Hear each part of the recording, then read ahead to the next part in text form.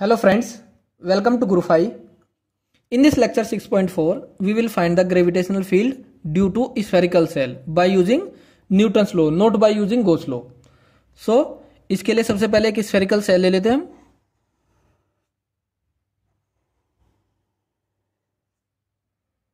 इसके सेंटर से एक आउटसाइड पॉइंट पर पहले कैलकुलेट कर लेते हैं सपोज़ ये पॉइंट पी है इसकी डिस्टेंस कितनी सेंटर से आर ये सेंटर है ओ अब इस स्फेरिकल सेल का मास हमने कंसिडर कर लिया एम तो सरफेस मास डेंसिटी कितनी हो जाएगी? Sigma equal to mass upon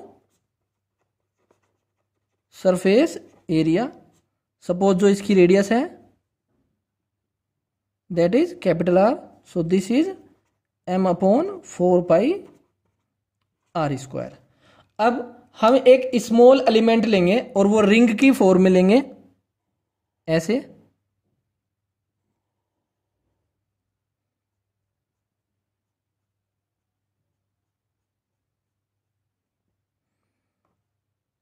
ये जो एंगल बना रहा है सपोज़ ये है थीटा और इस एलिमेंट से, इस पॉइंट पी की जो डिस्टेंस है, ये हमने मान ली एक्स और ये एंगल कंसिडर कर लिया अल्फ़ा नाउ ये रेडियस आर है सो जो ये एलिमेंट होगा, ये एलिमेंटल रिंग होगी, इसकी रेडियस क्या हो जाएगी? R sine theta. और जो इसकी ये थिकनेस होगी that will be R D theta now mass of this elemental ring mass of the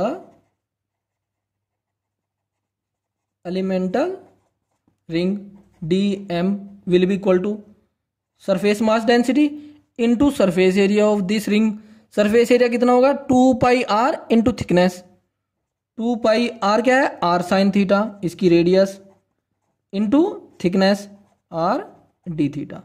So sigma की वैल्यू पुट कर देंगे। सो so, ये हो जाएगा M upon four pi R square two pi R square sine theta D theta.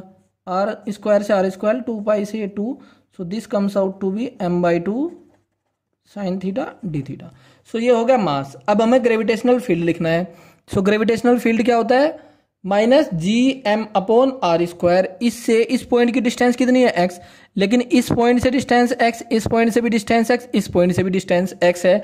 But direction अलग अलग होगी। इसकी डायरेक्शन इसके अलोंग इसकी डायरेक्शन इसके अलोंग इसकी डायरेक्शन इसके अलोंग तो इनका अगर हम कंपोनेंट लेंगे तो वर्टिकल कंपोनेंट कैंसिल आउट हो जाएगा। सो हमें कौन सा कंपोनेंट लेना? केवल कोस अल्फ़ा वाला।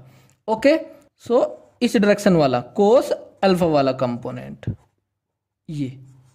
सो नेट ग्रेविटेशनल फ़ील्ड हो जाएगा हमारा कोस अल्फ़ा वाला कंपोनेंट और ये हो जाएगा G D M upon X square into cos alpha minus एक बार और समझ लेते हैं।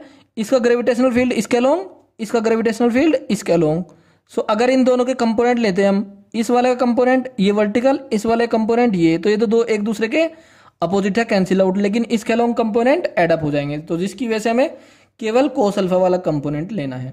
So minus G D M की value M by two sine theta D theta cos alpha upon X square.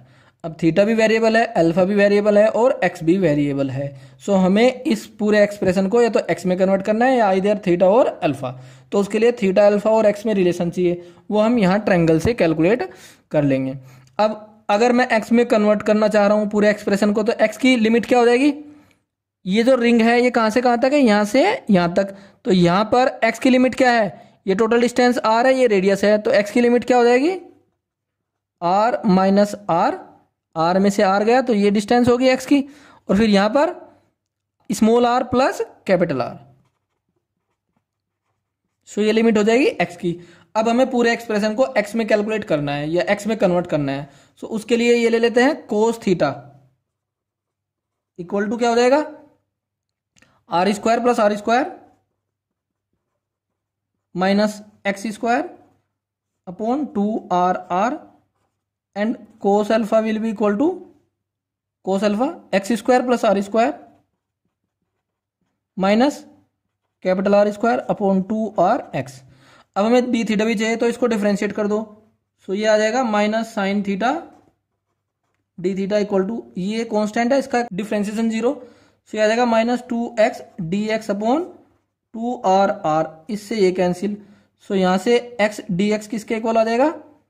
R R sine theta D theta R R sine theta D theta अब cos alpha की value यहाँ put करेंगे sine theta D theta की value यहाँ put करेंगे, और x में convert हो जाएगा ये एक्सप्रेशन फिर उसको कर देंगे integrate so now we will put the value of sine theta D theta and cos alpha in this expression so E will be equal to minus G M by two sine theta D theta की value क्या है? X D X upon small R capital R cos alpha की value cos alpha की value ये है X square plus R square minus capital R square upon two x r and divided by x square now x से x cancel so ये आ जाएगा minus G M upon two r square r G M two और two four r square r this comes out to be x square plus r square minus r square upon x square d x limit r minus r से plus r now minus G M upon four r square r इसका integration x square upon x square one one का integration x plus ये r square minus r square constant और one upon x square का integration minus one upon x limit r minus r से r plus r so this comes out to be G M upon four r square r so ये हो जाएगा r plus r minus r minus r and this is r square minus r square minus one upon r plus r plus one upon r minus r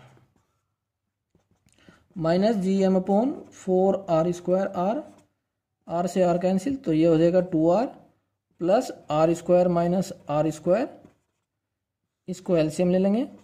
R plus r r minus r so ये हो जाएगा minus are minus are और plus are plus are इससे ये cancel so minus G M upon four r square r ये two are और ये हो जाएगा आर से आर कैंसिल ये भी two r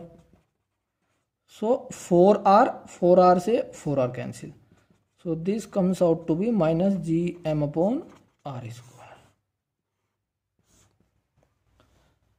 for surface point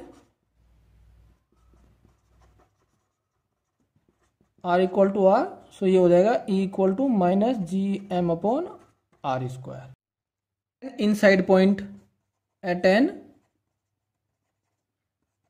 inside point. So ये स्फेरिकल सेल इसके लिए ये पॉइंट है सपोज़ इनसाइड पी इसकी सेंटर से डिस्टेंस कितनी? आर फिर से हम एक एलिमेंट लेंगे एलिमेंटल रिंग ऐसे।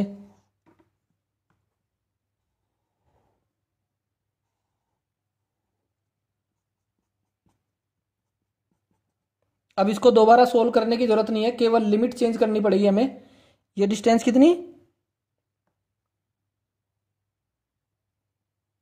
एक्स ये आर है और ये स्मॉल आर सो जो एक्स की लिमिट होगी, वो कौन सी हो जाएगी? जब रिंग यहाँ पर होगी तो एक्स की लिमिट यहाँ से यहाँ तक इनिशियल तो ये डिस्टेंस कितनी हो जाएगी? आर माइनस आर और जब रिंग इस साइड में होगी यहाँ पर सो एक्स की लिमिट यहाँ से यहाँ तक हो जाएगी तो ये डिस्टेंस कितनी? Small r plus capital r so so, x की लिमिट कहाँ से कहाँ तक? R minus r two r plus r so बाकी एक्सप्रेशन सेम रहेगा जो इंटीग्रेशन करना था हमें उसकी लिमिट चेंज हो जाएगी बस.